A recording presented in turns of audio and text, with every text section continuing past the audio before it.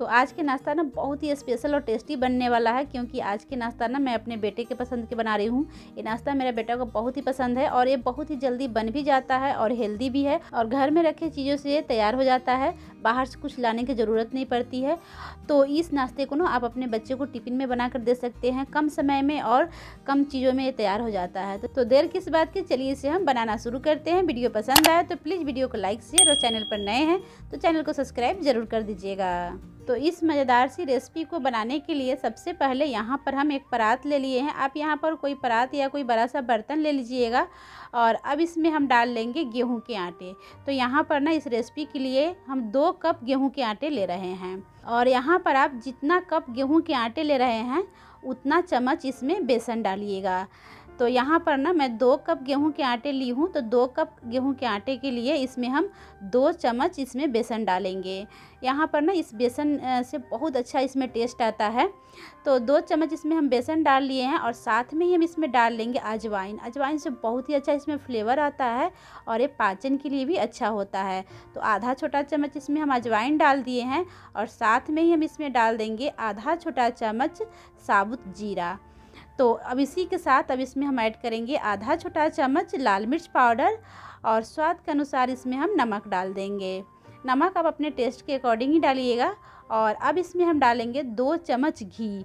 घी के जगह पर आप यहाँ पर रिफ़ाइंड ऑयल भी ले सकते हैं, लेकिन घी से ना इसका टेस्ट बहुत ही अच्छा आता है। और घी डालकर इसको इस तरह से हाथों से थोड़ी देर अच्छे से मसलना है। तो इस तरह से ना इसे थोड़ी देर मसलेंगे ना तो आटा का जो टेक्सचर है बिल्कुल चेंज होने लगता है, यानी कि आटा हमारा बिल्कुल मुलायम हो जाता है। तो इससे क्या होगा ना, जब हम कोकी बनाएँगे ना तो कोकी में बिल्कुल खस्तापन आएगा। तो ये देखिए थोड़ी देर मिलाने के बाद इसको हम इस तरह से मुट्ठी में लेंगे और मुट्ठी से दबाएँगे ना तो ये बिल्कुल बंधने लगेगा मुट्ठी में। इसका मतलब इसमें मोयन अच्छे से हो गया है। तो अब इसको हम साइड में रख देंगे और इसमें हम डालेंगे प्याज। तो प्याज डालने के लिए ना यहाँ पर मैं एक मीडियम साइज़ के प्याज ले ली हूँ। नहीं ज़्यादा बड़ा है और नहीं ज़्यादा छोटा है। मीडियम साइज़ के प्याज है और अब इस प्याज को ना हम बारीक चॉप कर लेंगे। जब कोकी खाते हैं ना तो खाने के समय प्याज का जो वाइट मुँह में आता है ना बहुत ही अच्छा लगता है, बहुत ही टेस्टी लगता है। तो इस तरह से ना यहाँ पर हम प्याज को चॉप कर लिए हैं और इसी के साथ में इसमें ना दो हरी मिर्च चॉप करके डाल दूँगी। तो यहाँ पर ना आप हरी मिर्च अपने अकॉर्डिंग इसमें डालिएगा, यानी कि आप जितना तीखा खाते हैं उसी के अकॉर्डिंग आप हरी मिर्च इसमें डालिएगा। और इसी के साथ ना हम धनिया पत्ता भी चॉप कर लिए हैं। तो धनिया पत्ता ना अभी मार्केट में बहुत ही फ्रेश और ताज़ी आती है। तो धनिया पत्ता ना आप इसमें ढेर सारा डालिएगा। धनिया पत्ता से बहुत ही अच्छा इसमें टेस्ट आता है और देखने में भी अच्छा लगता है। तो ये लीजिए, इस आटे को हम ले लिए हैं, जिसमें मोयन लगा कर रखे थे। तो उसमें हम धनिया पत्ता डाल दिए हैं, हरी मिर्च डाल देंगे और प्याज डाल देंगे, जो अभी हम चॉप किए थे। और इसे डालने के बाद अब इसमें हम डाल देंगे आधा छोटा चम्मच धनिया पाउडर। धनिया पाउडर मैं पहले डालना भूल गई थी तो यहाँ पर ना आप धनिया पाउडर की जगह पर साबुत धनिया को भी क्रश करके इसमें डाल दीजिएगा ना तो बहुत अच्छा उससे भी टेस्ट आता है। तो अब हम इन सभी चीज़ों को इस तरह से हाथों से मसलते हुए थोड़ी देर अच्छे से मिला लेंगे, ताकि सभी चीज़ एक दूसरे के साथ अच्छे से मिक्स हो जाए। और इसके बाद इसमें हम डालेंगे पानी। तो यहाँ पर ना आप ध्यान दीजिएगा, कोकी के लिए जो डो लगता है ना, बिल्कुल अलग तरीके से इसका डो तैयार होता है।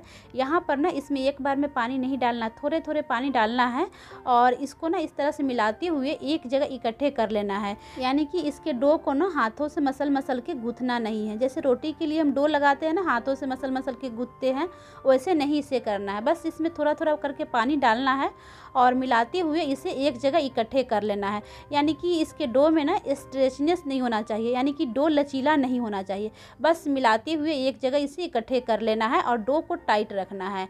और ये देखिए, डो को मैं तोड़ कर दिखाती हूँ, इसका आप टेक्चर देख सकते हैं तोड़ने के बाद। तो इसी तरह के डो होना चाहिए। तो डो हमारा तैयार हो गया है तो अब इसको हम ढक कर मिनट के लिए रेस्ट पर छोड़ देंगे। तो इसे पाँच मिनट रेस्ट पर रखने के बाद अब इसका हम ढक्कन हटा लेंगे और डो यहाँ पर हमारा सेट अच्छे से हो गया है तो अब इसमें से हम लोई तोड़ लेंगे। तो यहाँ पर ना इसका हम बड़े साइज़ की लोई बनाएँगे। तो इस तरह से हम सभी लोई को पहले बनाकर तैयार कर लेंगे। और बड़े साइज़ के लोई यहाँ पर इसलिए बनाए हैं क्योंकि कोकी के ना जो थिकनेस है वो मोटा होता है, यानी कि मोटा ये बनता है, इसलिए बड़े साइज़ के हम लोई इसका बनाए हैं। और यहाँ गैस पर हम तवा रख दिए हैं और इसमें से एक लोई लेंगे और उसको इस तरह से हाथों से दबाते हुए हल्का चपटा कर देंगे और इसके बाद इसको ना हम तवे के ऊपर रखेंगे तवा यहाँ हल्का गर्म है। और इसके ऊपर रहकर इस तरह से पलटते हुए दोनों साइड हल्का सेकेंगे, यानी कि इस टिक्की के ऊपर हल्का सा स्पॉट आना चाहिए। तो आप देख सकते हैं व्हाइट कलर के इसके ऊपर स्पॉट आ गया है। तो अब इसको हम बेलेंगे। तो यहाँ पर ना बेलने से पहले इसके ऊपर सूखा आटा लगा लेना है। इससे क्या होता है ना, ये बेलने में ना, बेलन या चकले में चिपकेगा नहीं, बहुत ईजिली बेल जाता है। तो यहाँ पर जैसे नॉर्मल हम रोटी बेलते हैं ना, उसी तरह से बेल लेना है, लेकिन इसका जो थिकनेस है ना, रोटी से मोटा रहता है।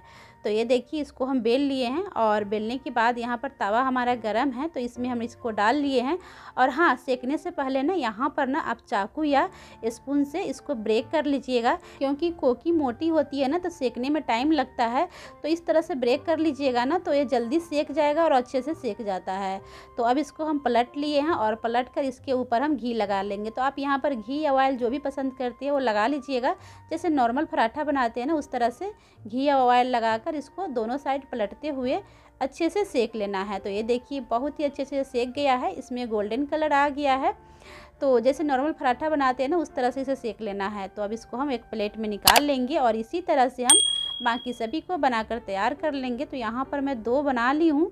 तो अब इसको हम चटनी के साथ सर्व कर लिए हैं। आप इसे सब्ज़ी के साथ भी खा सकते हैं। बहुत ही टेस्टी लगता है। तो फ्रेंड्स अगर आपको मेरा वीडियो अच्छा लगा हो तो प्लीज़ वीडियो को लाइक शेयर और चैनल पर नए हैं तो चैनल को सब्सक्राइब ज़रूर कर दीजिएगा। जय हिंद।